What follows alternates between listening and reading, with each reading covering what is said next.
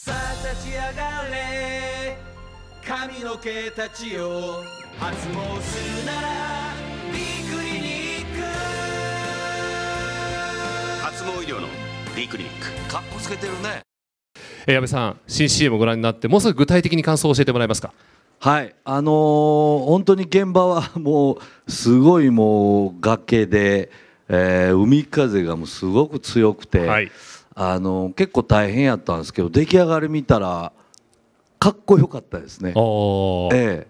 かっこよく仕上がってました。スタイリッシュにもなってましたかそうですね。えええ相当崖怖くなかったですか岡村さんあのー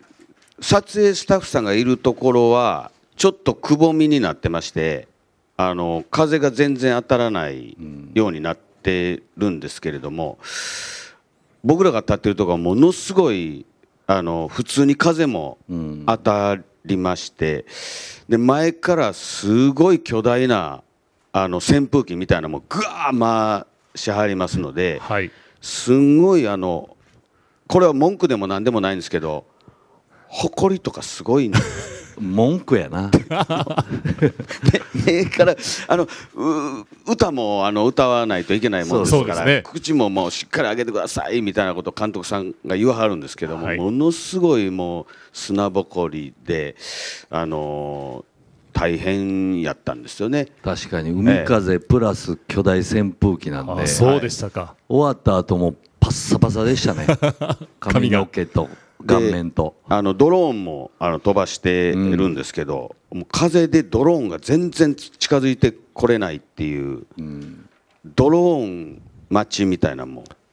結構ありまして。あそうですか、はい、あんなブワーなってるんですけど「撮れてるんですか?」大丈夫です」って言ってはったんですけど CM 見たらどれがどうなのかあんまりちょっとわからないんですけれどもドローンがすごかったです。そうなんですかあ合間合間であのーメイクさんがね 髪の毛を直してくれるんですけど関係ないんですよ。そのか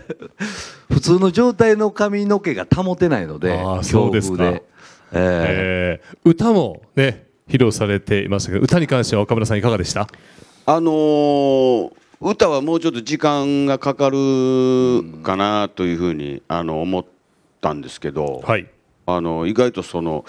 えー録音部の方が「いいですね」って言ってー乗せてくれて、ね、ほぼほぼそんな時間かかることもなくあそうですか。あの取れたんですけども、まあ、ちょっとあの前に歌ってらっしゃるた方がいいるんですけども お上手な方でしたので、はい。